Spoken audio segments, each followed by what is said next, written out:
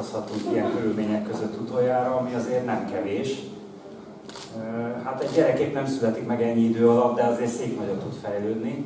De ennek is végre eljött az ideje, végre már, ha még maszkban is, ha még csak távolságtartással és ha még csak szigorú beléptetési ellenőrzéssel is, de már tudunk olyan programokat szervezni, ahol önök is itt lehetnek, mert jók voltak az online programok, sok mindent pótoltak, de ez az igazi. Úgyhogy nagyon örülök, hogy végre találkozhatunk, és különösen köszönöm önöknek, hogy itt vannak, mint mondhatjuk így leghűségesebb látogatóink, akiknek úgy látszik a leginkább hiányoztunk.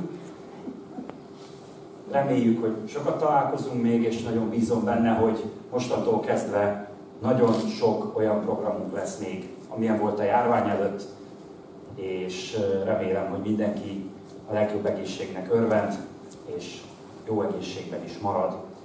A mai alkalommal egy olyan előadást hallgathatnak meg, amely egy 20. századi magyar politikusról szól, akinek a közéleti pályája alig több mint három évtizedet ölelt csak föl, mégis rengeteg ütközés, rengeteg konfliktus jellemezte ezt a nem is olyan sok évet, és nagyon markánsan, nagyon határozottan foglalt állás számos konfliktusban, amely időszak persze eleve gazdag volt a konfliktusokban, hiszen az első világháborútól a második világháborúig, mind a két háborút beleértve ível ez a pályaív, és hát miután önök tudják, hogy Bacsi Zsinszki Endréről van szó, hiszen a meghívóban is szerepel, ezért föl is mutatnám azt a kötetet, amely ennek a mai előadásnak az alapját képezi.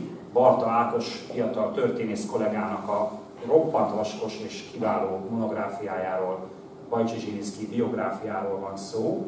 És azért is örülünk, hogy ez az első előadása járvány hosszú kényszerszünete után, mert egyrészt Bajcsi Zsilinszki Endre egy olyan személyiség, akit mindenki ismer, aki Magyarországon nőtt föl, vagy akár csak Magyarországon átutazott, mert a könyvben is szerepel ez a gondolat, hogy szinte alig van olyan komolyabb település Magyarországon, még talán ma is, ahol legalább egy relatíve fontos utca ne Bajcsi Zsilinszki Endre nevét visel.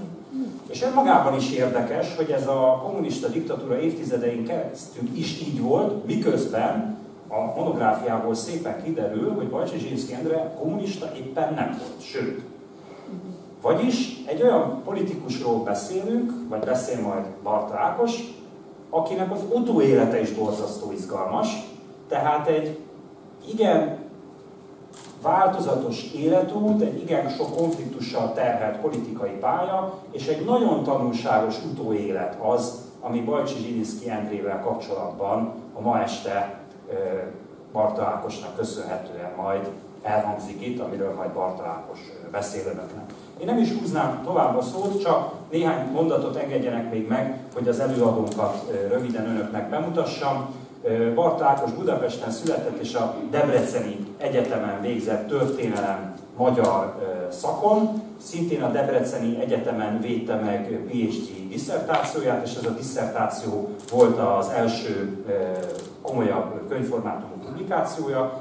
Ez a falukutatás és társadalmi önismeret, a Sárospataki Református Kollégium falu szemináriumainak történeti kontextusai című bonyolult címet viselte, de már ebben látszik az érdeklődés, az úgynevezett harmadik utasnak mondott gondolat és a társadalom összefüggéseinek a konkrét vizsgálata, majd innen tovább lépve szinte jelenik meg 2017-ben második könyv, könyve, populizmus, népiség, modernizáció, fejezetek a kelet-közép-európai politikai gondolkodás 20. századi történetéből, ami már megcsillogtatja Barta Ákosnak azt a képességét, hogy képes modern szemlélettel a politikusoknak a gondolkodását vizsgálni, és nem elégszik meg azokkal a készen kapott klisékkel, amelyekkel az 1940-es évek végétől kezdve évtizedeken át jól meghatározott módon tankönyvekben, népszerű publikációkban, vagy akár sok tudományos munkában is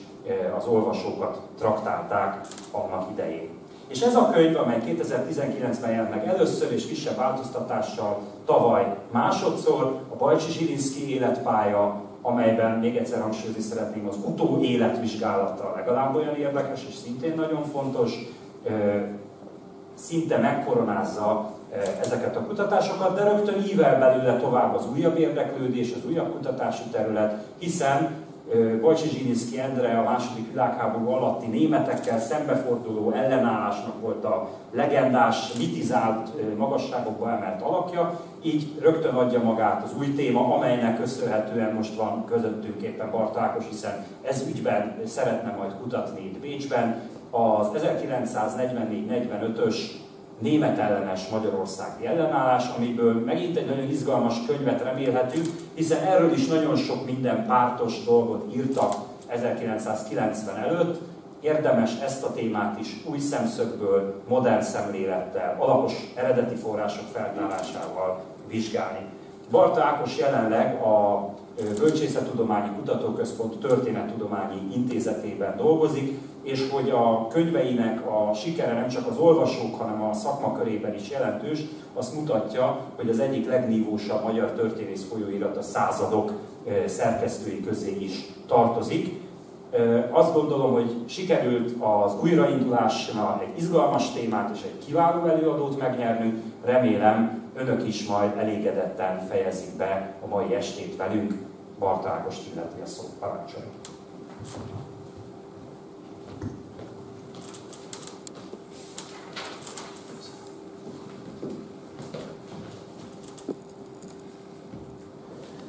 Köszönöm szépen a kedves szavakat, megilletődve is állok itt, és hát némileg zavarban is, hiszen nem csak a szakmai rendezvények, hanem a szakmai találkozások is elmaradtak az utóbbi bő másfél évben, és azért teljesen más embereknek beszélni, mint hogy monitornak monologizál az ember, amiben azért elég sok részünk volt.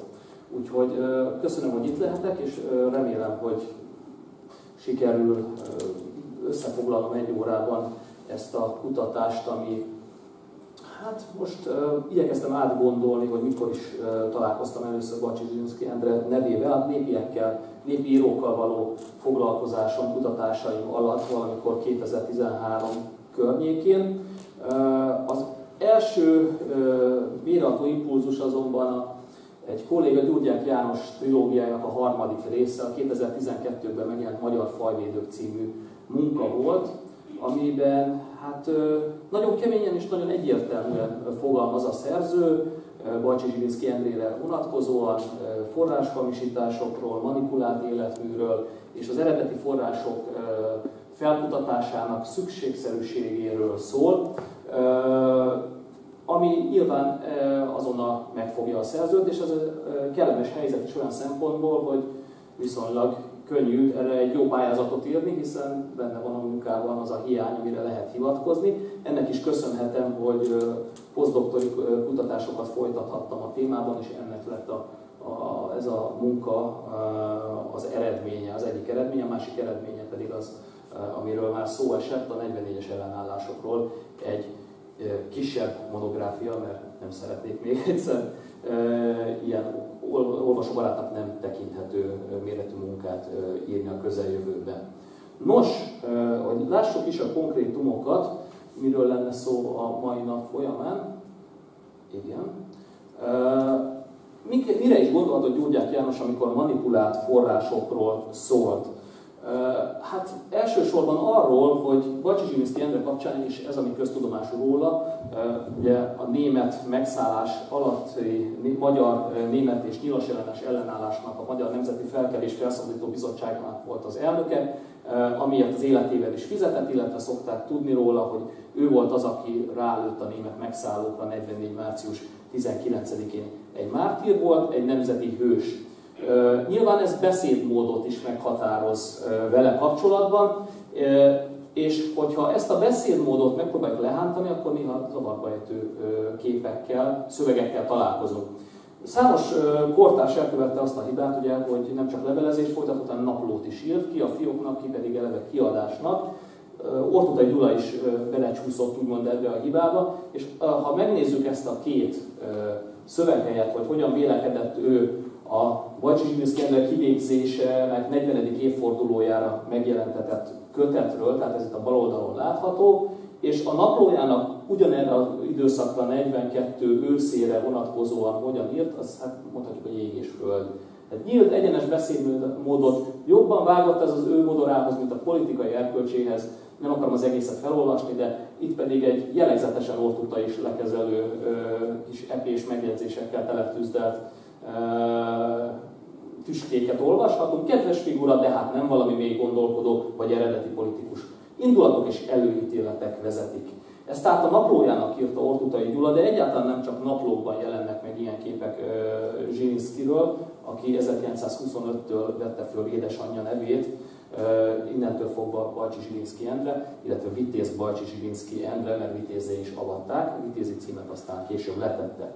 Egy, hogy egy másik éleszszerű kortársat is szemügyre vegyünk, aki szintén nem szokott fukarkodni az epés megjegyzésekkel, ám azt mondhatjuk, hogy a korszak a magyar közéletének egyik, hanem a legnagyobb eszéistája, német Lászlóról van szó. Ő sem gondolkodott nagyon másképp a későbbi német ellenes hősről. Ugye ez egy kegyelmi pillanatban született munka, 1943, tehát még a mártírium előtt vagyunk, de az utolsó pillanatban. Fehér haj, vörös arc, kék szem, épp jövőben volt, és már megint rohanóban, mint egy kis Mussolini. Nem véletlen a hasonlat. Egyébként Bacsi Zsilinszki antifasiszta hősként ismer a köztudat, Mussolinit valamilyen mértékben egész pályája során tisztelte és példának tartotta. Zsilinszki nem volt az árnyalatok embere. Kicsit talán meg is volt sértve a sérelménél, azonban föltétlenül nagyobb volt a sietsége, és most jön a lényeg, olyan ember benyomását tette, akit a svungja megtéveszt a képességei felől. Mindent föl lehetett tételezni róla, csak öregkori tanulékonyságot nem. Nos, ez az a beszédmód, amit 45 után egyszerűen nem lehetett folytatni, egy nemzeti hősről nem lehet így beszélni, viszont akkor az fölveti a kérdést, hogy az a nemzeti hős az mennyiben, mennyiben valós alak, és mennyiben csupán egy torzója annak, akinek a nevében szólnak róla. Lássuk az életpályát nagy vonalakban ezek után. A származásról csak annyit szeretnék szólni, amennyi feltétlenül szükséges. Hát azt mindenképpen meg kell egyezni, hogy szarvasan született, de fiatal korát Békés Csabán töltötte. Ugye ez egy olyan millió, mondhatjuk, hogy enklávé volt, amelyben még a 19. században is a szlovák anyanyelvűség volt a meghatározó. Zsilinszki is anyai, apai ágon teljes mértékben, illetve anyai ágon is félig szlovák származású volt, tehát őket ugye a 18. század folyamán telepítették be, ő ezt a nevében is őrzi, hiszen maga a Zsilinszki névforma etimológiája is Zsolnából, Zsilinából e-, eredeztethető, ahogyan azt nyelvészektől is tudjuk.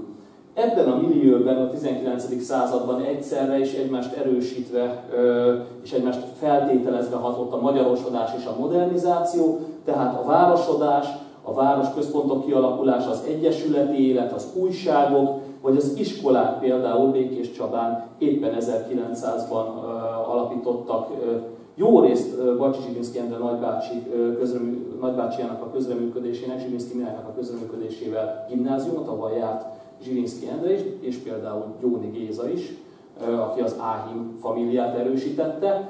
Nos, ezek a folyamatok egymásba fonódva, és hát ö, ö, számos problémát felvetve ö, ö, ö, alakultak ebben a légkörben. Itt, ami, ahonnan hoztam ezt a képet, ez a Békés Csabai fiúme szálloda, a Zsilinszkiek, és egyébként mondhatjuk, hogy a Békés Csabai helyi elitnek a fő gyűjtőhelye, ez azért már egy emeletes épület, láthatjuk, hogy az utca bár még poros, de azért itt egyfajta várososodás folyamatról beszélhetünk. A nevekről még egy gondolatot, hogyha megengednek.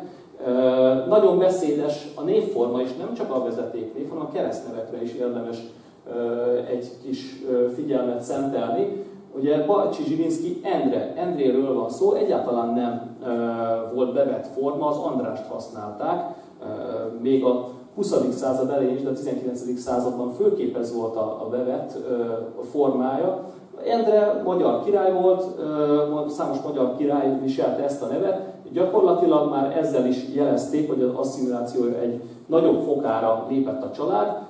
Zsilinszki, Bacsi Zsilinszki Endre édesapja például még Andrásként született, de később Endvére változtatta meg a nevét, és ha a történetünk egy másik szereplőjét említjük meg, Áhimel Andrást, őt pedig csak ugye a mi Andrisunk, Andrisként tisztelte nem csak a néphagyomány, hanem a közösség is.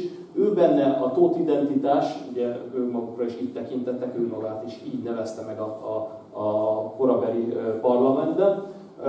Ő Ondrisként találta meg számításait, és ugye Zsirinszki Mihály sem lett Misó, hanem Miskaként tekintett rá a család, a családi levelezésben, tehát ebben a meglehetősen intim szövegfolyamban is így kerül elő az ő elnevezése, egyfajta köztes állapotot jelent. Itt látható a két testvér, tehát Zsilinszki Endre, idősebb Zsilinszki Endre, Bajcsi Zsilinszki Endre édesapja, és Zsilinszki Mihály. Elég egy futó pillantást vetni a két karrierútra, hogy megállapítsuk, hogy melyik volt a formátumosabb, nagyobb pályát befutó közéleti szereplő a korszakban, az egyértelmű Zsilinszki Mihály, aki egy politikus is volt és történetíró, több ízben vármegyei főispán volt Csongrád, illetve Zójon megyében, kultusz államtitkár, akadémia tagja is volt egyébként, és országgyűlési képviselő, mit ad Isten 1905-ben egy bizonyos Áhimel András ellenében bukott el körzetében. Ezzel szemben öccse hát egy szolidabb pályát futott be, tanárként jeleskedett Békés Csabán és Szarvason tanított többek között történelmet, újságíróként a Békés megyei közlőnap fűződik a nevéhez, gazdálkodást is folytatott, erről még lesz a későbbiekben szó, és hát egyébként is neki a gazdaság volt elsősorban a, a szívügye. No meg a családi birtok növelése, mint minden jó gazdának, és erre a századforduló előtt volt is lehetősége egy hát meglehetősen vitatott körülmények közt lefolyt parcellázás, a részleteiben most ebben nem tudunk belemenni, de minden esetre meg sokszorozta a földterületét a Zsilinszki családnak, Zsilinszki Endrén családjának, ebben egyébként testvére is segítségére volt. Később ehhez kastélyt is vásárolt, földet bérelt, és így jött ki az a 2000 kataszteri hold, amire aztán később Vacsizsdinszki Endre folyamatosan hivatkozott, de hát ez néhány év, legfeljebb egy évtized volt, amíg bírta ezt a földterületet a család. Később, hát ugye a hitelből folytatott modern gazdálkodás csődbe juttatta a familiát.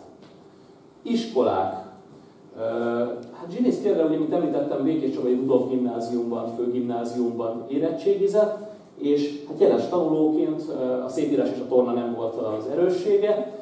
E, ennél is lényegesebb, hogy Kolozsvári Egyetemen mezei jogászkodott, ugye itt láthatjuk azért, hogy rengeteg olyan elem van, ami ráerősít a gentry toposzokra, azokra azokra ítéletekre és előítéletekre, amit mi szoktunk gondolni az úgynevezett nemzeti középpolgárságról. Ugyanakkor, és azt már kevésbé szoktuk volt gondolni, európai tanulmányutakon is pallérozta tudását, mint Bajcsi Zsilinszki, mint pedig édesapja.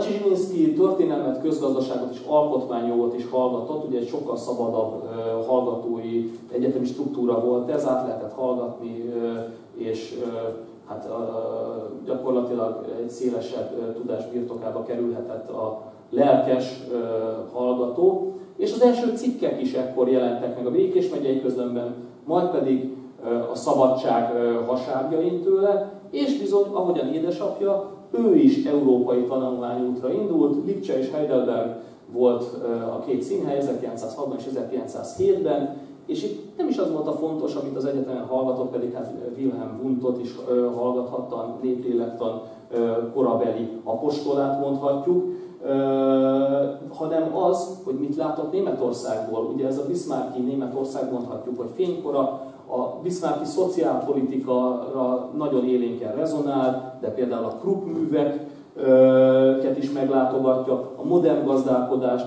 a társadalombiztosítási vívmányokat, mind-mind olyan dolog, ami Magyarországon, vagy a monarchia, nincs, és erre ö, ö, hát nagyon hamar ö, problémaként nagyon hamar rálát Zsilinszki Endre, és ugye megfogalmazza, hogy minél jobban figyelem a német világot, annál inkább tisztában látom önmagamat és önmagunkat, a saját nyomorúságunkat. Ez kicsit hasonló, hogy egy merészet példát mondjak, mint amit mondjuk 30 évvel később Kodolányi János finnországi útjai során tapasztalt.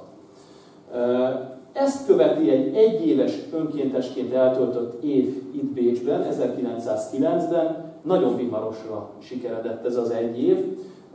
Magatartásbeli problémák jelentkeztek a fiatalembernél, a fékezhetetlen indulat, különböző gentry alulgök és a zsidó ellenesség így lehetne összefoglalni. Ennek megjelenési formája pedig egy konfliktus volt, ami hát nagyon röviden összefoglalva a, a lényegét tekintve az volt, hogy fölpofozta az egyik önkéntes társát, amiből hát egy, ugye ez egy minősített esete volt a, a, a fegyelmi védségeknek, és hát a, azonnal kicsapatásával veszélyeztette Zsilinszki Endrét. Gyakorlatilag egy hosszas eljárás következtében csak úgy tudott megmenekülni kicsapatás elől, hogyha megmozgatja a családjának azt a kapcsolati hálóját, amit az eddigiek folyamán inkább csak a háttérben sejthetünk, itt a családi levelezésből ez nagyon szépen kirajzolódik hogy Tisza Istvántól kezdve Huen Édervári Károly aktuális miniszterelnökön át, természetesen a nagybácsi Zsilinszki Mihály, és Fehérvári Géza testőrparancsnok is itt Bécsben, rendkívül sokat segít neki abban, hogy sikerüljön, sikerüljön elsintani ezt a, ezt a roppant kellemetlen konfliktust. Annyit még talán érdemes megjegyezni, hogy a közhuszárokhoz visszavezényelték. Ugye a tartalék, tehát a, a egyéves önkéntességnek a legfontosabb hozadéka vagy célja, hogy tisztképes legyen az ifjú kadér, innen kerülhettek ö, tartalékos tiszti állományba, és csak ők kerülhettek aztán tiszti, ö, tényleges tiszti státuszba, és ez volt a tétje a dolognak, és hát tudjuk, hogy a tiszti mi volt, a tiszti volt, ahogyan fogalmaztak a korban, az az úriembernek az ismérve volt. Magyarán minden kicsapatják, akkor hát a úriembernek ilyen értelemben, ahogyan a korban vették, nem tartatja magát. És rengeteg nagyon-nagyon nagy belső feszültségekről árulkodó családi levelezések vannak ez ügyben, hogy, hogy hát nem kapta meg a csillagot, ugye, ami ezzel járt volna, de ugyanakkor mégiscsak csillaggal ment haza, pedig nem volt jogosult, ez egy nagyon komoly fegyelmi volt szintén a korban. Elhagyta az alakulatát, mert csúfolták, kutyahoz közhuszárnak nevezték, és hát ugye, mivel egy zsidónak minősített, vagyis az által zsidóként becsmérelt társa ellen követte el ezt a, ezt a tettet, hát itt a nyúlbőrös és egyéb megfogalmazások is eléggé mindennapiak a családi levelezésben. Mondhatjuk, hogy a zsidó ellenességének az egyik első markáns megnyilvánulása, és itt láthatjuk azt a dokumentumot, ami végül arról tudósított, hogy hogy hát az uralkodó Ferenc József kézjegyével látta el azt az iratot, amivel Zsilinszki Endre ügyét úgymond sikeresen, sikerült békésen elrendezni. Ezt Fejérvári Géza juttatta el. A címzetet nem ismerjük, de feltételezhetjük, hogy Zsilinszki Mihály a nagybácsi volt. Hát mindeközben a háttérben miért munkáltak ilyen szörnyű feszültségek a, a, a fiatal emberben? Hát egész egyszerűen azért, mert elkezdett csődbe menni az apjának a túlméretezett vállalkozása. Láthatjuk, hogy modern fejlesztéseket próbált ki, cukorrépa, cirok, dohány, mikor mindenki a szemtermelést erőltette, ezek tényleg nagyon modern gondolatok voltak, csak hát tőkeigényesek, és a tőkéből bizony nem volt sok, hitelhez kellett folyamodni, a hitelt viszont törleszteni kellett volna, de hát jön egy-két asszályos év, és ugye a vállalkozás rögvest csődbe megy, körülbelül ez történt itt is. Külföldi szakfolyóiratok, ez sem erősít rá a klasszikus gentry képünkre, szak, külföldi szakemberek alkalmazása, drága befektetés, és végül nem térült meg a családnak. Szikjavító kísérleteket folytatott, ahogyan ő és aztán később gyermek és fogalmazott bihari nagybirtokosokkal, azért csak, ők csak bihari viszonylatban nagybirtokosok, itt azért messze vagyok a 10 meg a 100 ezer boldaktól. Ezek jó, erős középbirtokosok, uh, országos viszonylatban, Tiszák, a Markovicsok és a Lovasi család például. Ez az öntöző uh, csatorna építési konszert azonban megbukott, adósságok, bérletszerződések és árverezések lepik el a családi levelezést, és Zsilinszki Endre eladni kényszerült a Marciházi birtokát, a, e, egészen a kastélyjal együtt, és később aztán a, a, a Mengyes Egyházi már említett ö, ö, birtokot is átengedni kényszerült, és hát az Áhim ügy kapcsán már egy, hát mondhatjuk, hogy a No Man is No Man, vércsorogra költözött a család, ott lett birtoka, és onnan folytatta az egyébként nagyon kiterjedt családi levelezés, és viszonylag éppen megvan. Nos, az Áhim ügy, erről is csak nagyon röviden.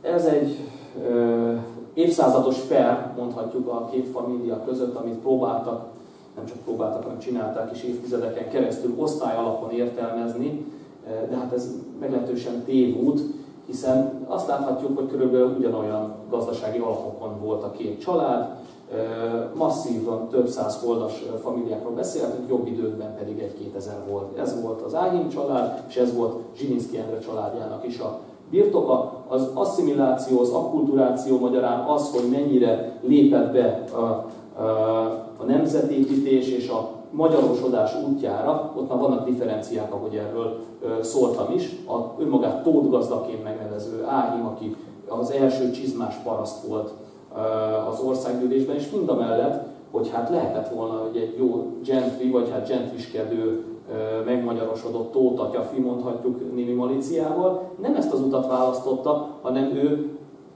most mondhatnánk divatos szóval erre brandet épített, valóban csizmában jelent meg, hogyha neki névjegyet küldtek és próbálták provokálni magyarán, párbajra késztetni, akkor hát a Ganégo kihúzott vasvillával küldte el a segédjeit, mint ahogy az ismert anekdóta ö, mutatja. Hát ha megnézzük a két feltűnt gallérű fiatalembert mellette, aki a két Zsilinszki fivér, azért láthatjuk, hogy itt más karakterekkel állunk szemben. És hát ugye mind a mellett, hogy ő nagy gazda volt, ő tényleg az agrárszegények megszervezésén dolgozott, az agrárszegények nevében lépett föl, hogy ennyi, ebben mennyi volt a demagógia, és mennyi a valós politikai cél, ezt majd egy áhín kutató fogja tisztázni. Egy azonban biztos, ez teljesen más stratégia volt, mint amit a zsidinszkiek követtek, és ugye más pártálláson is voltak, hiszen a zsidinszkiek, mint láthattuk, egy tiszapárti, kormánypárti vonalon mozogtak, Áhimel András meg sokkal rugalmasabban kezelte a pártpolitikai függéseket, hogy úgy mondja, és nem kötelezte el magát semmelyik irányba. Itt azonban nem is elsősorban a politika, hanem a, hanem a helyi konfliktusok állnak a háttérben. Azt szoktam mondani, hogy leginkább kicsit a skóciai klánharcokra, klánokra emlékeztet az, ami itt megy békésben, és amiért már a, a konfliktus előestéjén háborús Csabáról ír a népszava, Békés Csaba helyett. Így gyakorlatilag ellepték a, a párbajok a községet, a nagy községet, ugye városát próbálták emelni, ugye ez sem sikerült még a korban, és hát ez a újságírásnak egy nagyon felfejlődő korszaka, szintén az urbanizációnak az egyik jele, de ez hozza magával az újságírókat is. Különböző lapokat ö, adtak ki, amik másról sem szóltak, csak a két család egymást becsmérelte. És ez vezetett oda summa summarum, hogy egy vasárnapi napon Zsilinszki Gábor és bátyja Zsilinszki Endre úgy gondolta, hogy kutyakorbáccsal, pisztolyokkal és bottal fogja meglátogatni Békés Csabai, Csabai otthonában Áhimel Andrást, hogy elégtételt vegyen. Hogy az elégtétel konkrétan mit jelent, ez az a három ember tudja, aki ben volt a szobában. Ebből az egyik másfél napon bele, belül belehalt a sérüléseibe, a másik kettőnek meg nem volt érdeke erről túl sokat beszélni, úgyhogy valószínűleg már soha nem tudjuk meg. Egy biztos, hogy ez nem volt egy békés, mint láthatjuk a felszereltséget, látogatás, hogy itt kikit folytogatott, és kilőtt először, ki akart menekülni, ez, ezek nyitott kérdések. Egy azonban biztos, hogy különböző jogi mahinériák és manővereknek köszönhetően végül a Zsilinszki fivéreket önvédelemre hivatkozva mentette föl az esküdbíróság, mindkét körben, egyszer Gyulán és egyszer pedig Budapesten. A nagy szerencséjük nekik az volt, hogy ez az a 10-15 év a magyar bíráskodásban, amikor esküdbíróság van, nem minden büntényre, de a legfőbb bűnesetekre igen, és gyakorlatilag ez azt jelenti, és ez a kulcsa az egésznek, hogy laikus bírák vannak, a szavazóbírák laikusok, kiskereskedők, házbérlők, csupa olyan ember, akiket, aki nem szakképzett jogász, és adott esetben akár meg is korrumpálható. Azt egészen bizonyosan tudjuk, hogy ez az ítélet mai szemmel nézve elfogadhatatlan, itt legalábbis halált okozó testi sértésért, és hát ugye magának sértésért el kellett volna ítélni a két fiatalembert, akinek ez az úri mi voltjába került volna. Nem ez történt, hanem felmentették őket, és azt hiszem kikapcsoltam. Ezután, mit ad Isten Zsilinszki Endrét, nehezen tudták volna messzebbre elküldeni, mint Árva vármegyébe, legalábbis északi irányba biztosan nem tudták volna messzebbre küldeni az országban. Árva vármegyébe kerül közigazgatási gyakornoknak, gyakornoknak díjtalan gyakornok lesz, szolgabíró.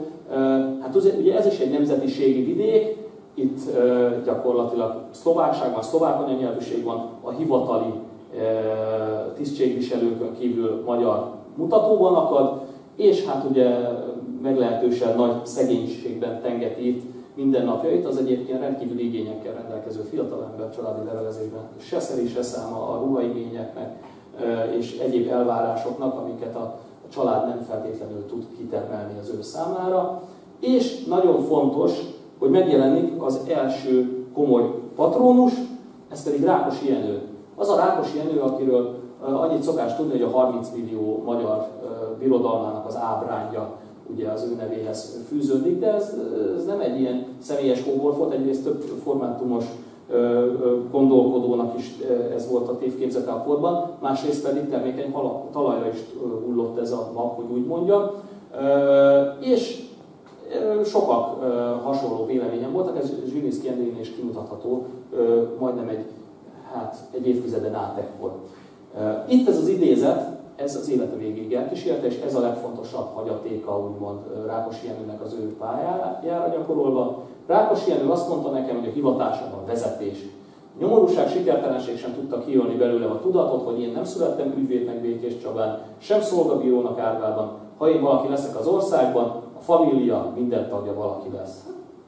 Ez egyenes beszéd végül is, nyilván magánlevelezésben láthatjuk, hogy nincsen hiány ambícióknak a fiatal ember, feszültségnek viszont annál inkább. Nemzetiségi vidéken van, nyilván ő háromnegyed részben szlovák, mit tud ezzel kezdeni?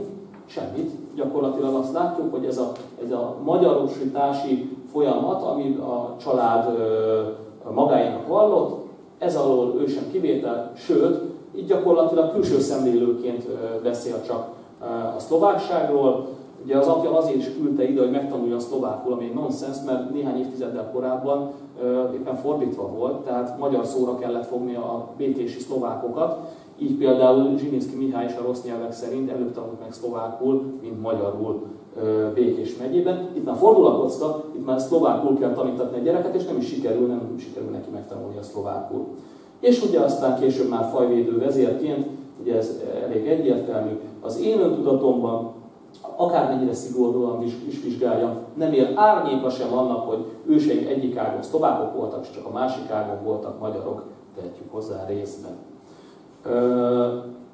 A nagy háború ennek folyamányaként, talán nem is meglepő, megkönnyebbülés, gondtalanság, reménykedés, ha valaki a háborúról beszél, valószínűleg nem erre asszociál első körben, de mégis azt láthatjuk, amit a korabeli fotókon is ugye megörökítettek a, a bevonulás kapcsán, a bizakodás, a gyors győzelem reménye, egy meglehetősen lehetetlen című cikkben sikerült ezt neki prezentálnia. Ugye végig, háború, végig küzdi a különböző frontokat, kitüntetik, sebesülések, mindenki, minden visszaemlékező, nem csak ő, megemlíti, hogy bátran küzdötte végig a, a nagy háborút, kidolgozott egy politikai reformtervet is, amiről röviden annyit mondhatunk, hogy nem tudunk róla semmit, mert maga a kézirat nem maradt fönn, megküldte egyébként Rákosi Jenőnek, később pedig mindig úgy forgatta, ahogyan éppen az aktuális politikai céljaihoz igazítható volt. És hát ugye ez a mondhatjuk tévképzet, ami egyébként a tiszteknek, akik kim voltak messze a magyar határokon, meglehetősen általános tapasztalata volt. 1918-ban vagyunk már, bár az év elején, és akkor írja, hogy most már jó és csak jobb békéről lehet szó. Az imperializmus sanszai is megnövekedtek, ez kétségtelen, hiszem, hogy eljön az én jövőm is. Hát egészen más dolog jött el. ugye, mint tudjuk, az összeomlás.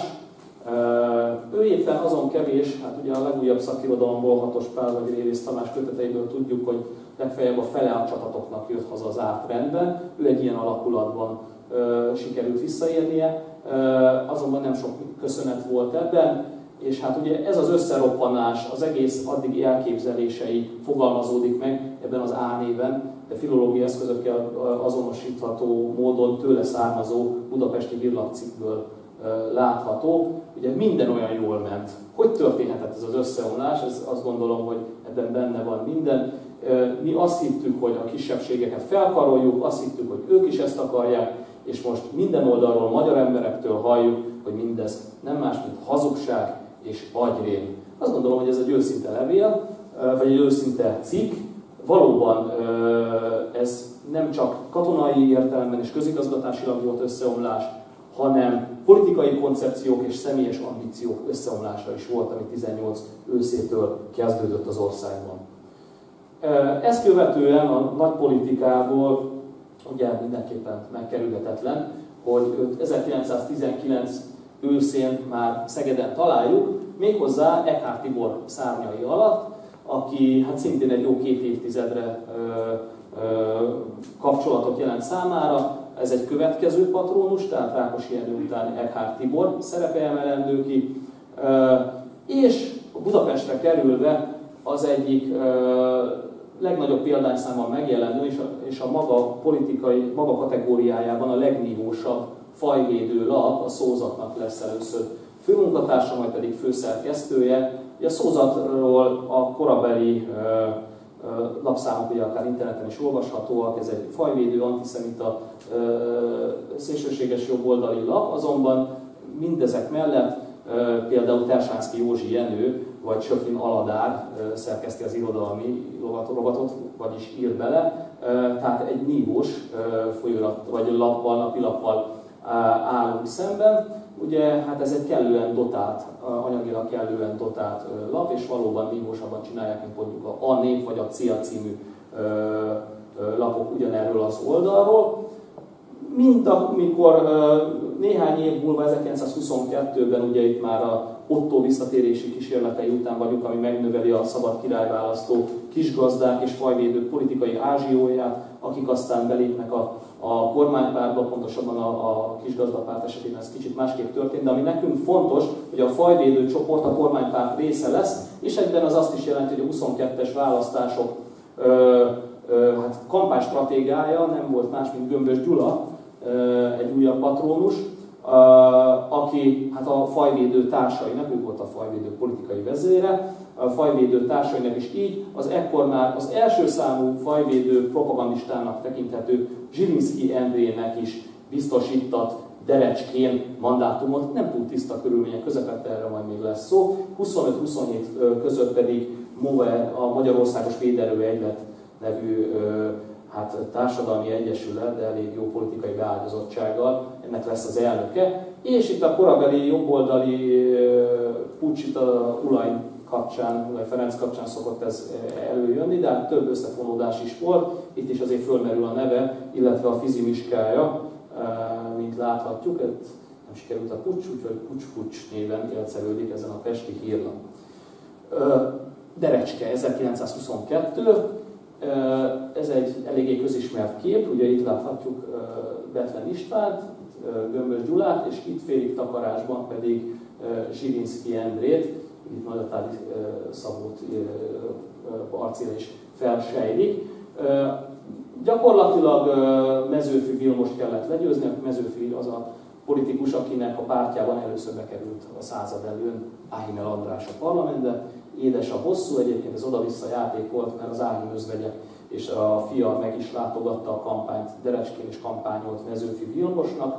Például Mezőfi panaszkodott, hogy rá is lőttek, kitiltatták a kerületből a korteseit, nem engedték megtartani beszédét, az összes praktikát alkalmazták, amit aztán később, négy évvel később, amikor már Zsirinszki Endre ellenzéki fajvédőként, hiszen 20 háromban a fajvédő csoport kilép a kormánypárból. Ugyanezeket a praktikákat, ugyanazok az emberek, ugyanaz a főszolgabíró, ugyanaz az Ercsei Péter jegyző végigcsinálja Zsilinszki ellen. Itt még a győztes oldalon volt 22-ben, és azért láthatjuk, hogy hogyan néz ki. Az OSK-nak a plakát és kis nyomtatványtárában vannak, megmaradtak a portes dalok.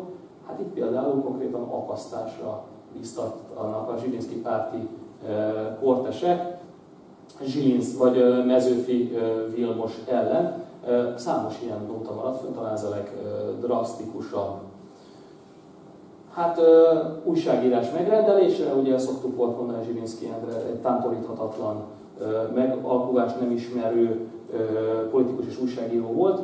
Valóban volt ilyen is, élet nagy részében ilyen volt, de azért nem mindig. Kozma Miklós, későbbi MTV, MTI, tehát Magyar Távirati Irodaelnök, Kíváncsian várom a karácsonyi számotokat, szeretném, ha bár Miklós méltatás szépen sikerülne. Mit ad Isten két nappal később, Zsilinszki Endre tollából a Mi Költők címmel megjelenik egy valóban meglehetősen negédes munka, és ha ezt hozzátesszük, hogy hát Bár Miklós igazából Kozma Miklós édesapja volt, csak álnéven publikált, akkor még visszásabb a történet, és itt pedig szintén a Kozma hagyatékból ö, egy idézet, ami pedig az én úgynevezett lapvezéri soraimat, szuverén jogaimat illeti, igen jól tudott, kedves Miklós, hogy ez nálam csak elv.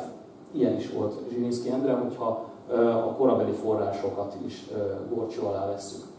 Aztán, hát ugye nézetei a 20-as évek első felében, erről nagy vonalakban már eddig is szóltam, tekintélytisztelet, nyitottság a diktatúrára, kormányzó iránti hűség, ennek egy nagy seppelyet is köszönhet az oldalá, a, arcának az oldalán, mert párbajozott is érte, ott ért szociális érzékenység, ő komolyan gondolta a földreformot, részben ez is volt az oka, hogy a fajvédő csoport tagjaként kilépett a kormánypártból. A zsidó ellenesség az megkérdőjelezhetetlen esetében, és hát a magyar faj védelmének az igénye egyfajta fajvédelmi koncepció továbbra is. Kilépnek a, a kormánypártból, és megalapítják a, a Magyar Nemzeti Függetlenségi Pártot, amit mindenki csak fajvédő pártként említ.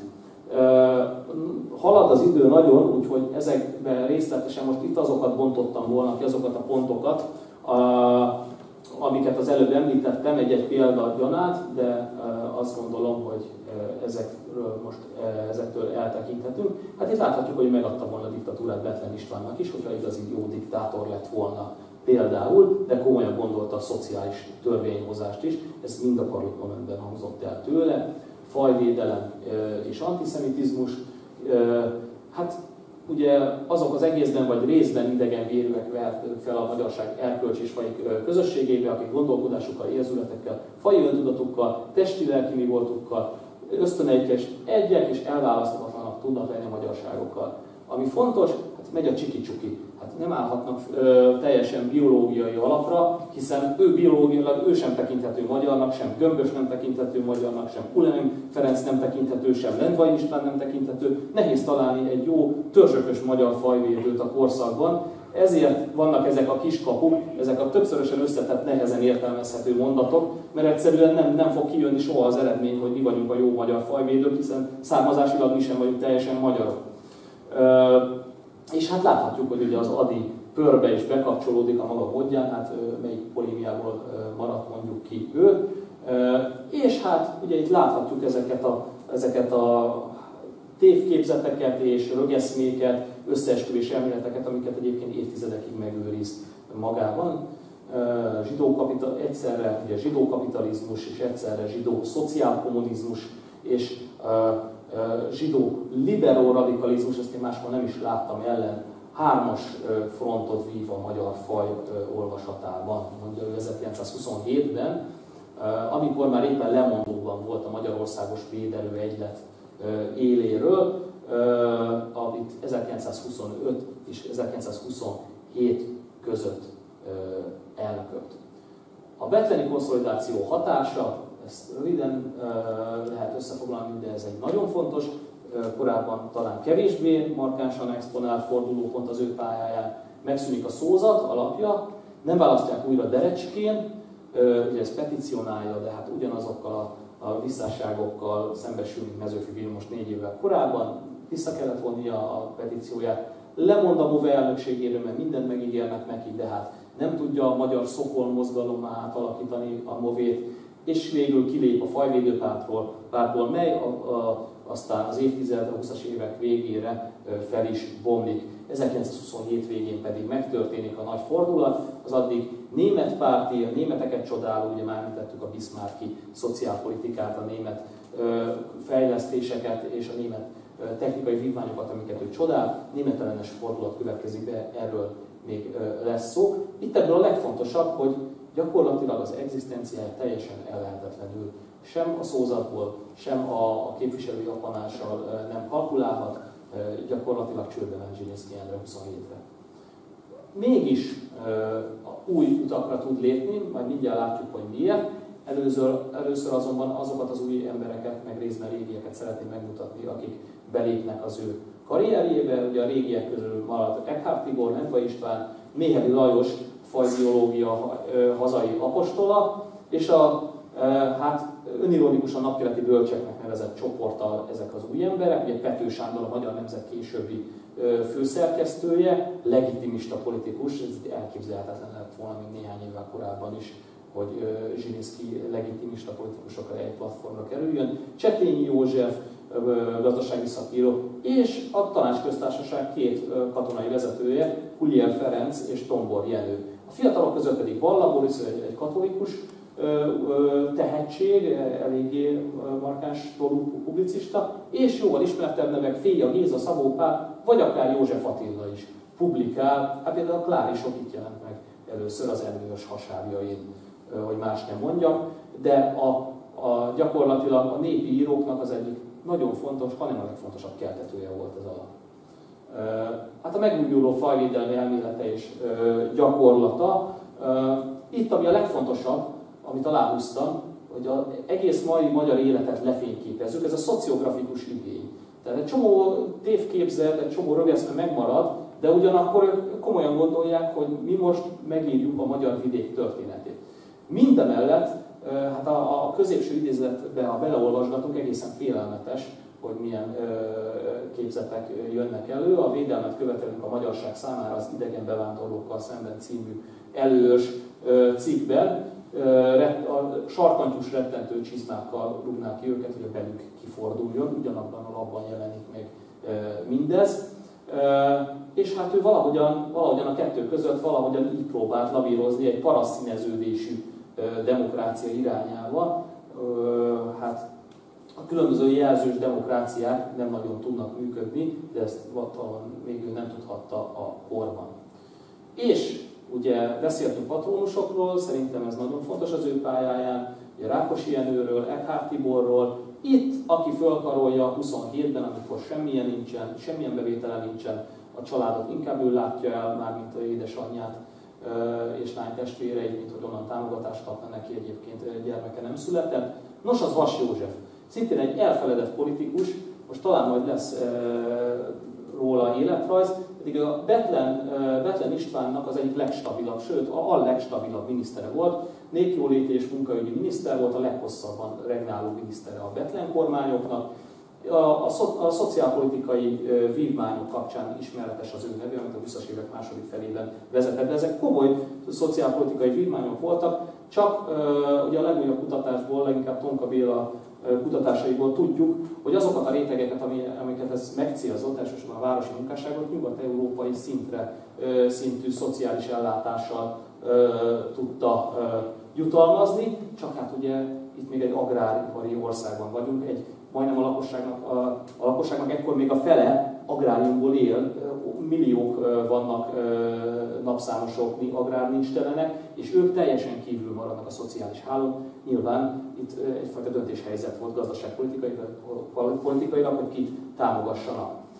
Nos, tehát az ő élete sem teljesen fekete-fehér, az ő politikai működése, Vas Józsefé. Nem szeretnék róla sokat mondani, de hát ugye a Drér ügyet még mindenképpen érdemes megemlíteni. A halál után robbant ki, és az a lényeg, hogy azért a Panamák terén ő is jeleskedett, azért szerette a, ismerősi, há, ismerősi kört, illetve a családját helyzetbe hozni, mind a mellett, hogy, hogy ezek a komoly fejlesztések és komoly intézkedések megtörténtek.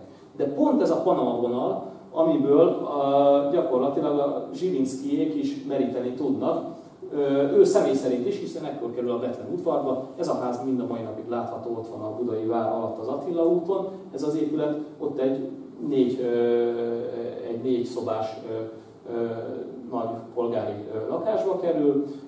Olaszországi gyógykúra, neki gyomorbántalmai voltak élete végéig, és hát ezt tudta gyógyítatni a tenger partján Vas József támogatásának. Az előőrs, hát nyilván egy lapot finanszírozni kell, és talán ezt kellett volna legelőre vegyem, hanem az időrendet követem. Ez volt a legnagyobb összeg. Ez is a vaspénzekből jön.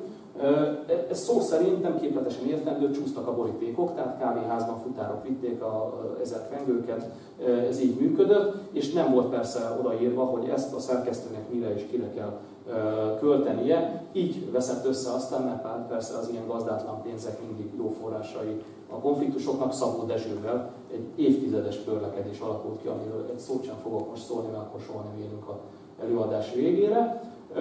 És hát a szerzők által segélyezése. Tehát itt valóban egyfajta nepotizmus, de legalábbis egy, egy hát nem lepapírozott támogatás van. A másik oldala az, hogy ezzel segítettem mondjuk olyan formátumos íróknak, mint József Attila, vagy Féja Géza, vagy Szabó Pál írói munkájának, munkásságának az elindulását. A Zsilinszki Vas páros. Hát itt egy másik nagyon fontos kérdés, amit nem tudunk megkerülni. 1927 végén vagyunk, Szabó Dezső ekkor már négy éve hevesen ostorozza nem csak a borti rendszert, hanem ugye patkánykurzusnak, görénykurzusnak, pontosan a görénykurzusnak nevezi, hanem a németeket is. És hát ugye Zsilinszki Endre is 27 végén megfordítja a koncepcióját, és ebben az idézetben, amit nem fogok felolvasni, egy az egyben kilép elénk az a Zsilinszki Endre, aki semmiképpen nem, gyakorlatilag ugyanígy fogalmazott aztán másfél év, bő másfél évtizeden keresztül, amíg mi életben volt. A német kolosszus, a csöndes beszüremkedés, kulturális, hogy csúszik felénk előre a nemzetünk szíve felé a germánság, és hát ugye Ausztriával kiegészülve, készülve mindezt veszedelmet jelent hazánkra nézve, ez a 30-as években egy az egybe, cikről cikre így jön elő. Ugye Pető Sándornak és körének a hatása, napkeleti bölcsek, akire már volt szó, az, ami megkerülhetetlen. Ugyanakkor, és a kérdés a címben, hogy német vagy náci ellenes, elsősorban német ellenes, és utána lesz náci ellenes. Ezt onnan tudhatjuk, hogy mint láthatjuk, Hitler, hát van a túlzás, hogy a fasorban nincs még, de minden esetre hatalmon semmiképp, és ő már 1927 végén német ellenes. Stresemani német külpolitikát tartotta veszélyesebbnek, és ha megnézzük a 30-as évek legelejé Zsilinszki diplomáciát, amikor már ugye publicisztikát, amikor már, már azért felsejlik és képbe kerülnek a nácik, akkor ő például lapjában interjút készített egy náci politikussal, mert ő alternatívaként fogja föl, hogy esetleg egy, nem, egy jobboldali fajvédő magyar kormány, ha lenne, össze lehetne fogni Hitlerékkel, és egy közös jobboldali együttműködéssel ezt a kulturális beszörömkedést, amit Stresemannak a agyréménynek tartotta elsősorban, meg lehetne opponálni tehát gyakorlatilag van egy néhány év a 30-as évek elején, amikor a nácik felé igenis megértő, de már markánsan német ellenes.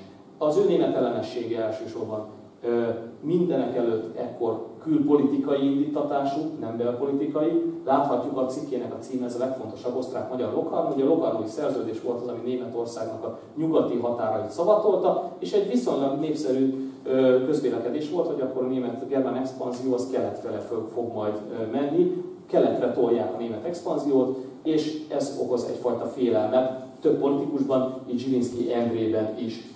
A legalsó idézet az egy nagyon ismert idézet, és azt csak azért hagytam meg, mert ez egy profitikus mondat, és ezt semmi szín alatt nem érdemes relativizálni. Ugye itt német világ nem volt ezer éven át, és német világ nem lesz, hogy ezt megakadályozzuk, elvegyünk a golyóig és az akasztófáig, mondja 33. június 20-án a parlamentben, és pontosan ez történt vele bő 10 évvel később, 44. március 19-én jött a golyó, karácsonykor meg az akasztófa, ez azért picit borzongató, azt gondolom. Nemzeti Radikális Párt a 30-as évek elején egy önálló politikai pártot alapít, ez a Nemzeti Radikális Párt, ennek volt a folyóirata az előös, majd pedig a Szabadság. Hát 31-ben pártnak az egyetlen tagjaként kerül be a parlamentbe, hát nyilvánvalóan itt politikát nem lehet művelni, és hát nem is sikerül neki se. A, elsősorban publicistaként ténykedik, ami azonban ambícióit nem elégíti ki, főleg azután nem, hogy 35-ben botrányos körülmények között tette kikerül a törvényhozásból, méghozzá jó barátja, Gömbös Gyula buktatta ki, akivel néhány évvel korábban még közösen nyaralgattak a Balatonon, és úgy, hogy ő megígérte neki, hogy hány mandátumot juttat, ez egy elég csúnya ügy. De a lényeg egy szó mint száz, hogy ismét csak ott van, ahol a parcakad, kikerül a törvényhozásból, és az összes szép koncepciója, radikális földreform, a kapitalizmus és szocializmus ellenesség, az általános egyenlős titkos választójog, amit éppen Mezőfi Vilmos egyébként tíz évvel korábban ellene hangoztatott, az mondhatni érdektelenné válik. Láthatjuk, hogy a külpolitika továbbra is integer revizionista csúnya szókapcsolattal mondhatnánk. Magyarán Szent Istváni Magyarországot akarja újraállítatni, ám immáron nem német orientáció révén, hanem olasz és francia kapcsolatok révén, meglehetősen szalonképtelen kapcsolatai voltak egyébként. Francia oldalról például Xavier Vallée, aki később a Vichy kormánynak a zsidó ügyű kormány biztosa volt, volt a kedvenc, aki többször meg is látogatta egyébként Budapesten. Nem tudom, hogy mennyi időm van még. Egy nettó egy óra, vagy a bevezető után egy óra? Tehát van még negyed órám, az a kérdés. Van még negyed órám? Akkor a kis gazdapártra visszatérve, hát ugye csak leesett a tantusz neki, hogy ez így nem fog menni, miután kikerült a törvényhozásból 35-ben, ezzel a mini párttal, a Nemzeti Radikális Párttal nem fog menni a dolog, így beollott a kis gazdapártba. Hát ki a kis gazdapártnak az elnöke, akkor Eckhart Tibor, ugye ez egyik patronus, visszakerül, és gyakorlatilag ugye a népi írók mellett kiállt, ez nem nagy meglepetés, hiszen az elős kapcsán említettük már, hogy sok több tekintetben ő az egyik legjelentősebb elindítója a népi mozgalomnak. Hát a darányi kormánynak jó akaratú ellenzéke, ez csak annyiban érdekes, hogy a fegyveres semlegesség, amit általában a telekipál kapcsán szoktunk emlegetni, ez a kifejezés ez tőle származik, és hát innen vált politikai szlogenné gyakorlatilag 41 áprilisáig, júliusáig. Ibrédi Béla csodás forradalmát elítéli, mert szociális tartalmát nem látja, illetve lehet egy kis jót zsidózni is Ibrédivel. Béla Proféta című cikkel kívánkozik elsősorban itt előre, tehát mondhatjuk, hogy azért a régi húrokat pengeti, csak kicsit más tartalommal. Teleki Pál tartja az ezredéves magyar függetlenségi politika biztosítékának, és mit ad Isten 39-től a 39-es pünkösdi választásokon kerül be ismét Tarpáról, 31-ben is Tarpáról, beregi végekről kerül be a törvényhozásba, mert teleki szabad futást engedett neki, ahogy a kormány fogalmaztak, és ez körülbelül így is működött, ahogy 22-ben Betlen István tette lehetővé, hogy bekerüljön, nyilván ő akkor kormánypárti volt, 31-ben azt gondolták, hogy ő azért egy jó megbízható ember, még ha ellenzéki is, úgy került be a kormányba, és 30, vagy a törvényhozásban 39-ben pedig Telekinek a, a, a, ha nem is favulusaként, de gyakorlatilag a támogatásával, hallgatólagos beleegyezésével került be a parlamentbe. Ugye hát egészségesebb alkotmányos szellem vajudik a szemünk előtt, ha mondjuk Telekinek a zsidó törvények kapcsán játszott szerepére gondolunk, akkor azért itt van mind gondolkodni mint ahogy azon is, hogy mondjuk a sajtócenzúra, a rendkívüli hatalom és a gyülekezési korlátozások idején hogyan tudott valaki egyszerre két lapot is vinni a Független Magyarország megalapítására és a szabad szó átvételére, csak Mezőfi Vilmos volt alapnak a tulajdonosa korábban. Hát ezt a korabeli szélső jobboldalon nyilasok is megpendítették, hát nyilvánvalóan kormány támogatással kerültek ezek a lapok a birtokába. Az első zsidó törvényt, ahogyan a kisgazda csoporthoz hasonlóan nem ítélt el, sőt, gyakorlatilag egy magyar zártszámot akart azon belül, ami ugye meghagyott a, a törvénykezés úgymond árja kézen. tehát egy, egy magyar törvényt a zsidó törvényen belül. Nyilvánvalóan ez egy extrém kívánság volt, de egyébként többen osztoztak benne a korszakban. És hát ugye a politikai elitben a magyar fai erők nagyobb arányú bevonását szeretné, a honvédelmi kiadások növelés, növelését, országjelöldítést, ugye a Kárpátokra elsősorban alkotmányvédelem minden diktatúrás törekvés ellen. Ez ebben a, korszak, ebben a korban, ugye 39-ben vagyunk, a nyilasok előtörése a legelső számú ellenzéki erő, ez már nyilasoknak szól mindenféleképpen. És ami a legfontosabb, és így lehet, hogy tényleg kipár ellenzéke, és talán ezzel kellett volna kezdenem ezt a szlájdot, hogy nagyon fontos, hogy ezekben az években a legnagyobb politikai törés az nem a kormánypárt és az ellenzék között van, hanem gyakorlatilag a kormánypártot is keresztül metszi az, hogy ki az, aki kritikátlanul német támogató, azt amit ugye később német Bérencnek is fogalmaztak, de minden esetre a, a Berlin vezette új Európa híve, és ki az, aki, aki visszafogottabb ezzel kapcsolatban, vagy szuverenista politikát akar folytatni, ekkor már legalábbis. Ez a törésvonal, ez nem kormánypárti ellenzék, hanem kormánypártok keresztül is keresztül metzi a közéletet, így lesz például a német barát kormánypárti csoportban Csé csoport, a Mecsér András, Csilléri András és társai, de ugyanakkor Teleki a másik oldalról pedig hát gyakorlatilag szubróza próbálja csinálni a német ellenes politikát. Gyakorlatilag a Helyünk és Sorsunk Európában című Balcsi kötet kefele vonatát tényleg, mint egy ilyen rejtőjenő könyvben belókozva a nyomdába külön olvassa és húzza ki a erősebb kis kitételeket, illetve tudjuk, hogy a Nemzetpolitikai Szolgálat és a Társadalompolitikai Osztály is éjszakai propagandát folytatott a kormányfő vezetésével a saját kormánypártjának a szélső jobboldal, a német barát szélső jobbosai ellen. Tehát egy ilyen nagyon extrém évek ezek a magyar közéletben.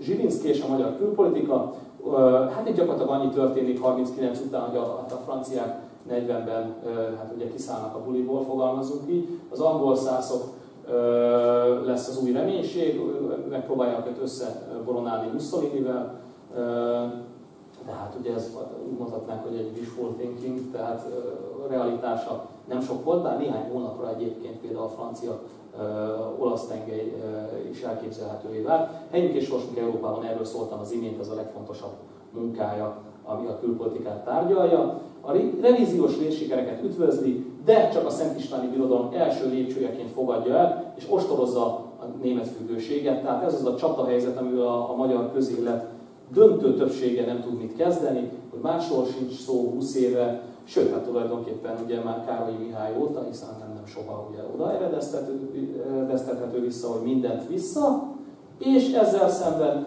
ugye gyakorlatilag ennek az az ára, hogyha jönnek vissza ezek a területek, akkor az szorosabb német függőséget jelent. Mit lehet ezzel kezdeni? Hát nem sok minden, illetve ilyen tévképzetek lehetnek, mint ez az idézet. A revízió magasabb szempontból amúgy sem más, mint a Dunai népek közé ékelt mesterséges falak lerombolása. Hát ez gyönyörű, csak valószínűleg a Dunai népek már ekkor két évtizede legalábbis másképp gondolták. Lépjünk tovább. Második világháború, hát itt gyakorlatilag ugye ellenzi a háromhatalmi egyezményhez a csatlakozást, a Szovjet Unió és az USA elleni hadbalépést is elítéli, és már 41 Bárdosi Lászlónak már 41. augusztusában azt valószínűsíti, hogy a németek nem nyerhetik meg a háborút. Ezt ugye szokták mondani profitikus mondatok. Ez azért hozzá szoktam, ezt szeretném hozzátenni, hogy azért ez úgy működik, hogy van négy-öt orbitális, ezeket nem idéztem, de tényleg teljesen szörnyű félreértelmezése politikai helyzeteknek, és akkor van egy ötödik, hatodik ilyen kitétel, ami bejött. Lényegében ez is ilyen. De azért volt a korabeli közéletnek néhány szereplője, mondjuk Lajos Ivánra gondolunk, akik már akár a 30-as évek végén is valószínűsítették a, a német vereséget. Hadseregfejlesztés, ugye említettük az országerődítés kapcsán, és támogatja Kállai Miklós miniszterelnökségét, hogy forduljunk az utolsó etapra. Az újvédik razziánál az egyik leglelkiismeretesebb politikusként működik, egy gyakorlatilag egy panasziroda minden hozzáfut be, és ugyanez később a munkaszolgálatosok visszaélései kapcsán, munkaszolgálatosok, munkaszolgálatosok ellen elkövetett szörnyűségek kapcsán is megmaradt e, levelezése, a legapró cseprő ügyekben is eljárt azért, hogy embereket mentsen, és ezt nem lehet megkérdőjelezni. Hát ugye tudjuk, hogy a újvidéki razia elkövetői aztán Németországba szöktek, hiába indítottak ellenük eljárást, ahol, ahol egyébként a kis, kis János Altábornagy volt az egyik szavazóbíró.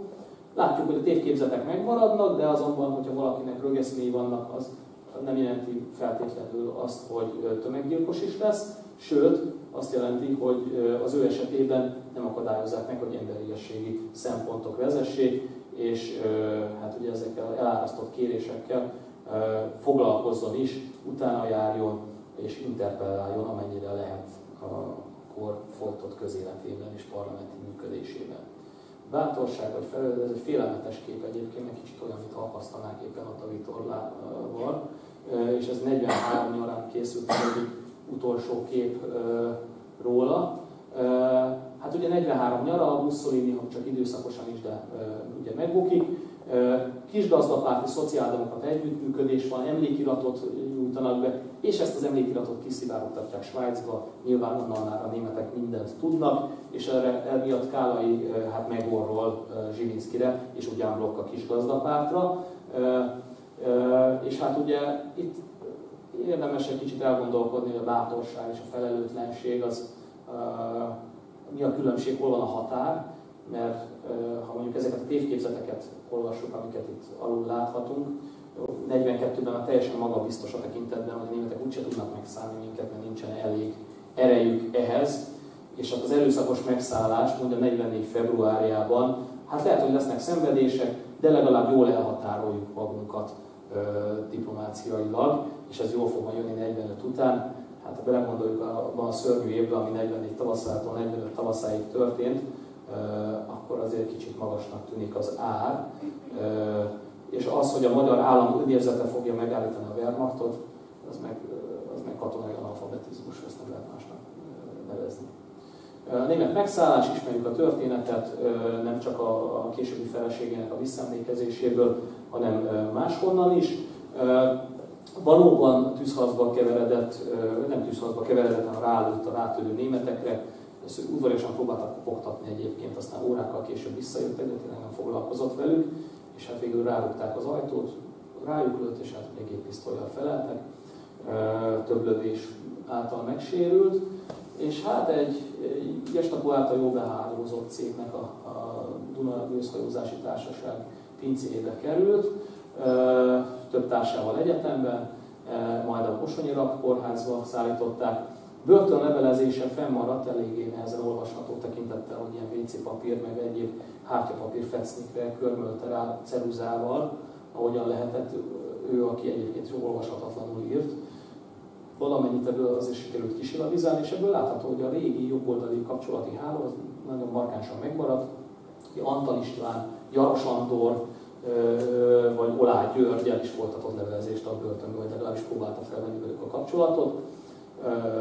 És hát ugye átadják a németeknek, ettől nagyon tartott, rögges öngyilkossági kísérletet követel, nem jár sikerrel, el tudják szorítani a vérzést, mert összevagdosta az erejét, és hát utána kivételezett helyzetben vesz, külön kap látogatók, jöhetnek, és írhat is, németül írja meg Magyarország federalizációjáról elképzeléseit, meg sok minden másról, ezek is olvashatók a országos Széchenyi könyvtárban, részletekben nem mennék be. Ami fontos, és ami szintén elmismásoltak aztán 45 után, hogy még ekkor is, tehát 44. augusztus végén, szeptemberében vagyunk, kisgazdapárti szociáldemokrata centrumról ír, illetve idézem, nincs ok a kommunistákkal szemben való meghátrálásra, a Magyar Front, ugye ez a illegális erőszervezet az ellenállásnak, így, ahogy a békepárt, a kommunista pártnak a neve ekkoriban, szellemében és vezetésével jelentkezik, halálos veszedelem. Ebből sikerült csinálni egy antifasiszta hőst 45 után. Összeesküszik, Bende Máriával a, a, börtönben, még Pesgőt is intéznek neki a németek, intéznek, és aztán lakatos kormány átveszi őket október 10-én, többet magával és 15-én szabadul. Ugye az ellenállásban a Magyar Nemzeti Fel, Felkerés Felszabadító Bizottságának az élére kerül. Ez a szervezet, ez két hétig él, november, láthatjuk milyen pártok vannak benne, de hát gyakorlatilag egy memorandumot tudnak megfogalmazni Malinowski marsalnak, illetve a katonai szám lép működésbe, részletekben most nem mennék bele, az a lényeg, hogy november 22-én és november 23-án a viradó egy éjszaka alatt lekapcsolják a legfontosabb vezetőket. Hát szabad független demokratikus Magyarország, a dicsőséges vörös hadsereggel, alapvető szociális változások, szoros együttműködés. Ezek szép remények, de itt igazából fegyverek kellettek volna, hogy valamit lehessen kezdeni, és még úgysem biztos semmi, ahogyan a Varsói felkelés példány mutatja. A nagy lebukás, amit említettem, megkínozták, villanyozták őket részletekben, nem érdemes belemenni, és amit ugye tudunk, december 8-án Pesten Kis Jánosékat kivégzik, Bajcsi Zsinészki azonban parlamenti képviselő volt, ki kellett kérni a törvényhozástól, megtörténik, kiadják, és december 24-én Sopron kővidára átszállítva, ugye már belövések vannak, ezért kénytelenek áttelepíteni egy csomó fogvatartottat, átviszik, és ott egy tárgyalás után elítélik, halálra ítélik és kivégzik többet magával, minden visszaemlékező leírta, hogy bátran lépett a vesztőhelyre. Hát 45-ben gyakorlatilag, igen, azt mondhatjuk, hogy nemzeti gyász bizakodással, ezt Puskin követnek, ugye az újra temetés a parlament előtt, Budapesten vagyunk, már elvonult az ostrom, 45. május 27-én volt, és ez egy ilyen félmondatot megeresztett Puskin, hogy joga van Magyarországnak a függet, tehát csak olyan nép adhatott egy Zsilinszkit, amelynek joga van a függetlenség és önállóságra. Ezt, a, ezt aztán pörgette a népszava a magyar nemzet heteken keresztül, de hát tudjuk, hogy nagyjából mi lett belőle. Minden politikai párt, minden politikai csoport igyekszik őt kisajátítani magának, ez egy burlesque film forgatókönyvének is beillő parlamenti vihar például, hogy nem lehet kisajátítani, a kommunista Horváth Márton megjegyzi, a mi társainkkal együtt szenvedett, együtt dolgozott, együtt ült a börtönben, és velük együtt került a Vitófára, aztán Futó Dezső ehhez hozzáteszi, hogy Bacsi Zsiniszki itt kiabált a házban, hogy akasztófát a gyilkosoknak, tehát kis gazdapárti képviselő volt. Révai kontráz a kommunistáktól, csak maguk nem követték, az a baj, mert Futó Dezső, mi itthon voltunk, de maguk nem voltak itt. Ugye, tehát ez tényleg nem lenne tragikus a történet, akkor kabarészerű forgatókönyv. Hát az állambiztonság ugye az özvegyre azonnal rááll, és évtizedeken keresztül próbálja lekövetni, sikerül, és itt operatív fotót láthatunk a, az emlékápolók. Ők egyébként elsősorban a, a Nemzeti Radikális Párt követői közül kerülnek, illetve a népi író berkeiből. És mindamellett, hogy mindenhol ott van Bajcsi Zsilinszki, mindenhez felhasználják, még a TSS-ítéshez is az ő nevét is felvonultatják. A színfalak mögött azért azt látjuk, hogy az özvegy nem hajlandó kőhidára menni koszorúzni, ha internacionálé van. Azt látjuk, hogy ugye hát a, sajnos hát ugye itt is ez a helyzet, hogy még a legbelsőbb körben is volt ügynök, aki jelentett arról, hogy vacsora közben Zsivinszkiné minden pohár borívásánál dögöljenek meg a kommunisták kijelentést tette. És hát, az, ami nagyon fontos, az az, hogy gyakorlatilag, amit az özvegy csinál, hogy a férjének az emlékműve álljon, de Mária ezt nagyon lelkiismeretesen vette, ez magától Zsilinszkitől jön. Ugyanis gyakorlatilag ő az utolsó éveiben, sőt tágabban mondhatjuk a második világháborúban végig, a saját iratait dokumentálta, archiválta, mint egy levéltáros. Duplán irattatta a kimenő levelezését, azt szépen iktatta és félretette, hagyatékot gyártott, hagyatékoztatta már saját magát, és a börtönből már instruálta is az özvegyet, hogy a te dolgod az lesz, ezt a szellemi kincset, mondja szerényen, hagyatékot őrizni hűségesen gyakorlatilag. Hát ez a hagyaték, ez ugye fenn is maradt, csak hát persze ennek az őrzésnek az a, voltak árai meg döccenői, ugye az, ami bekerült az OSK-ban, az nem a teljesség, mert ami mondjuk nem illet bele a Zsinészki képbe, az mondjuk akkor nem oda került, így lehet egy jelentősebb paksamét a Pesti megyei levéltárban, mondjuk Endre Lászlóval, kedves barátom címzéssel folytatott levelezéséről. De, és itt a Vendemáriának a legfontosabb instrukciója Kálai Gyulának, az a legfontosabb, és azt kell megmagyarázni, hogy hogyan lett egy gömbös fiókából valaki kommunista, kommunistákkal együttműködő személy. Ez a baloldali fordulat, és ez a nagy alkú, amiben belemegy az özvegy, hát látja, hogy mi megy maga körül. Itt már ugye gyakorlatilag a Kádár korszakban vagyunk, az ellenállásról tágabban lehet írni és beszélni. Lehet Zsiniszkiről beszélni, Szobra még sokáig nem lehet, de lehet emlékév, lehet koszorúzás, születhetnek könyvek, de akkor baloldali hősnek kell lenni, kell egy baloldali fordulat, csak ennek soha nem határozták meg, hogy hol kezdődött és hol ért véget, és egyszerűen azért, mert nem lehetett. A Zsilinszki társaság magja, azért látjuk, hogy vannak formátumos alkotók, mondjuk Kodolányi vagy Simándi Pál, de azért elsősorban ez nem az irodalmi első vonal, és az emlékápolás ára, amiről, mond, amiről szóltam, és hát ugye Kálai Gyula, aki a, ennek a népfontos ellenállási hagyománynak a legfőbb őre a Kádár korszakban, ez a magyar függetlenségi mozgalom egy retorikai szempontból nagyon ötletesen megírt, és rettentő nagy példányszámban megjelent munka, kiadást is megért, ez formálta évtizedeken keresztül leginkább az ellenállásról való gondolkodást. Nyilvánvalóan, hogyha politikailag instrumentalizálni akarunk egy politikai, politikusi működést, ahhoz kell egy szakmai legitimáció, ilyenkor kell előhúzni a történészeket, vagy történészként fellépő személyeket a cilinderből, és hát Vig Károly lett, aki, aki ezt a stemplit úgymond rányomta a hagyatékra. Hát ő messziről érkezett, mert ugye a 40-es évek második felében még markánsan kommunista, kommunista barát volt, és később pedig ugye a Zsilinszki hagyomány legfőbb őreként az özvegy baráti körébe beépülve gyakorlatilag monopolizálta a forrásokat, és hát részben manipulálta is, de olyan tekintetben nagyon sokat köszönhetünk neki, hogy a forráspublikálások is részben általa kezdődtek, de rendkívül érzékenyen rezonált mindenre. Tehát képes volt Rényi Péternek levelet írni, hogy most kimaradt egy a Népszabadságban, éppen a, a kivégzésének a 23. évfordulóján nem, nem írtak semmit, hogy képzeli ezt, fölmondta, ha fölmondta a Népszabadság az antifasiszta népfontos paktumot. Tehát egészen elképesztő, és hát nem volt rest például Kádár Jánosnak is levelet írni, ha egy filmművészeti alkotást a Jancsó Hernádi párosnak a Magyar Rapszódia című munkája nem nyerte el a tetszését.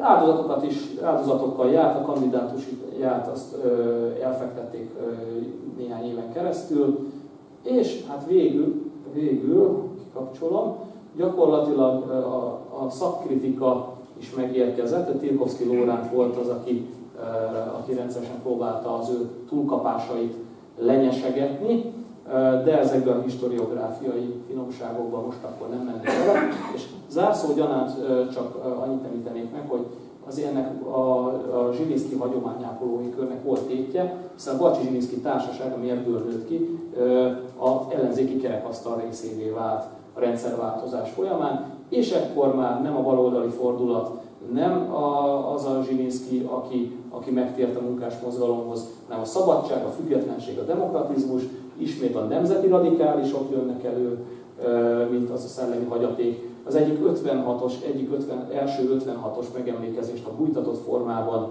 de a Zsilinszki társaság tagjai követték el, úgymond a Jurta sátorban megtartott egyik Bajcsi Zsilinszki emlékműsor fedésében, és ekkor már ez a szabadságeszmény nem csak a németek ellen exponálódik, hanem az oroszok ellen is, mint láthatjuk, pedig hát néhány évvel ezelőtt erről még nem szólhatott a fáma.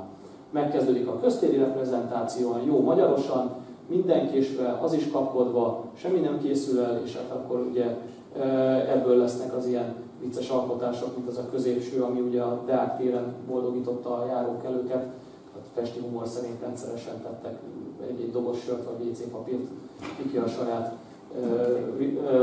viccessége szerint a kezébe, és hát manapság már ugye ez a, ez a dombormű ami szerintem egy jól eltalált alkotás, legalábbis jól érzékelteti azt, hogy itt csak kontúrok lehetnek, ha politikusokról szólunk, illetve újabban a pálkövei nyaralóját is kitakarították és rendbehozatták, felújították, látogatható, olyan kellemes strand van mellette, ajánlom mindenkinek figyelmébe.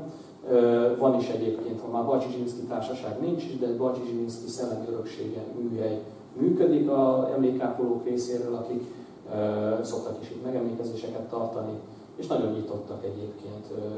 Nekem is volt szerencsém részt venni és vitatkozni velük.